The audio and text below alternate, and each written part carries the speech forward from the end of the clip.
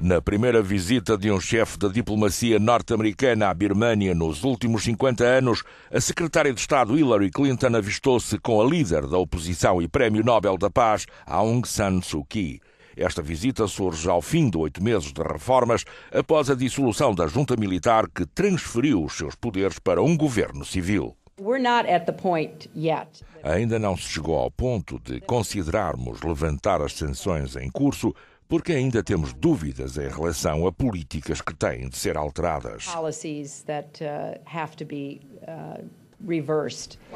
Hillary Clinton encontrou-se com o presidente da Birmania, Thein Sein, que, visando romper o isolamento do seu país, alterou a lei dos partidos, iniciou um diálogo com a líder da oposição, libertou duas centenas de presos políticos e autorizou a formação de sindicatos.